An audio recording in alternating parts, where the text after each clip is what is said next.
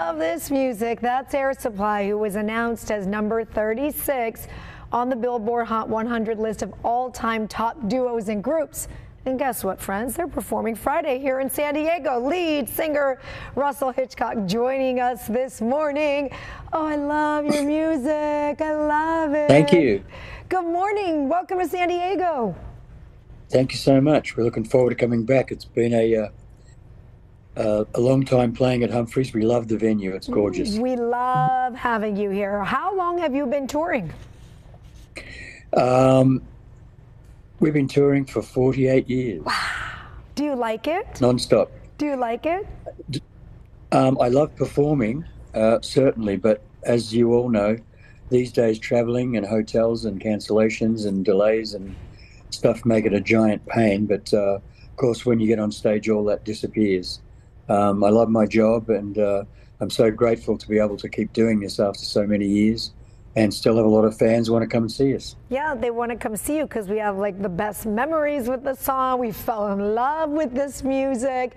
You're known yep. very much for your love songs. I mean, like yep. I can't tell you how many times I played those songs, "Falling in Love," Good. and those little butterflies happening. But, but we we started before you were born, though. No, well, Maybe, maybe, but look, look, you like span across generations, and even I like uh, awesome jammed with that music. Where do you get the Good. inspiration from all these the love songs? Well, my partner Graham Russell writes all the songs, and uh, he's he's he, he won't uh, ever admit to what his inspiration is for a particular song. Okay. Uh, I do have know that he's a very observant guy. Um, he's always looking at people and and especially couples. You know, what they seem to be feeling or what they seem to be doing. Um, and he's a softy, a romantic. Uh, he also writes poetry, so I think he's got that uh, sensitive, uh, you know, thing about him that I don't have. I just get to sing the songs. You just get. I'm happy sing. doing that. What is the most requested song when people, you know, shout, "Sing this, sing this"? Um, it would be "All Out of Love." It was it was released in Australia first in 1978. All Out of Love. Yeah, and then uh, 1980, of course. But yeah. uh, it's the most requested song.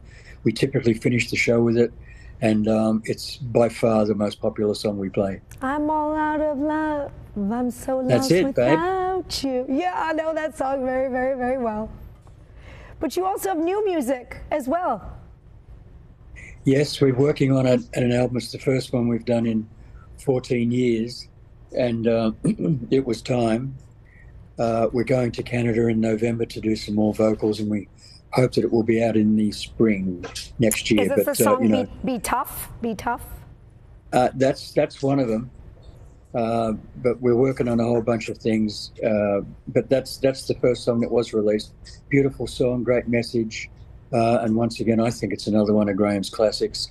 And hopefully, it, will get some exposure, which has been obviously tough for us for quite a few years now. We used to be cool, but now we're not. No, you're still cool. Come on. I know we are.